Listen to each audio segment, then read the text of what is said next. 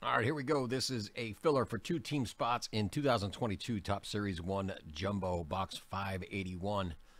We've got six racers at the line, or six spots at the race line. We're going to shuffle them up seven times, and we're looking for first and second place in this race. So let's switch over and do our shuffles now. All right, here we go. One, two, three, four, five, six, and seven. And they are off.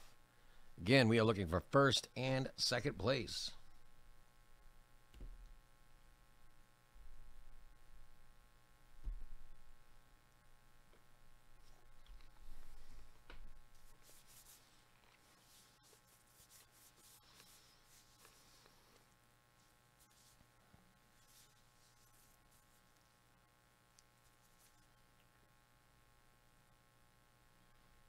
First and second, we've got Craig F. in first. Who's going to be in second place?